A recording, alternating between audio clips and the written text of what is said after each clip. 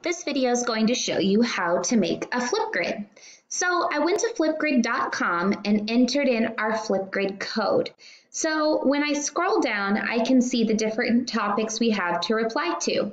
We're going to reply to the beginning of the year prompt where I can click on a video and where that will give you instructions or the instructions are written here. So I've made my first response, but I'll show you how to make another. The first thing you do is click add response and that will bring up a video selfie form for you right here. All you do is click record, give you a countdown, and then you start to talk. Whenever you're done talking, you're going to click this pause button. And then you're going to click the green arrow to go to the next step.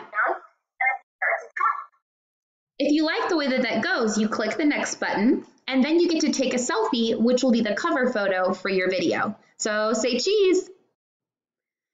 Oh, that is terrible. Let's try that again. That's, that's still terrible. Let's try this again. Smile. And when you're happy with your video, you can click the next button and you have your finished product. Then you're going to click type your name and this is optional. You don't have to put your email address. And then you're going to click submit my video. You're not going to see your video right away because I have it set to where I check your video response first before I say it's okay to show up on my Flipgrid. Thanks for watching my video. I can't wait to see what you post.